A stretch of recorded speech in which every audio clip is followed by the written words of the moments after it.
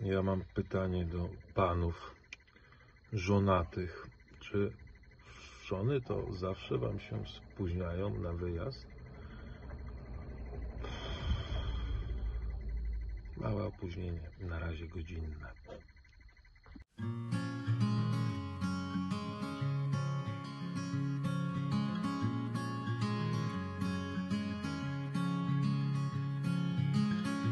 Later on Przypadkowy nocleg pod zamkiem w Mikulowie niedaleko. Lecimy dalej. Czy jesteśmy przy granicy z samą Austrią? Dosyć głośne miejsce, no ale na szybki nocleg jest ok.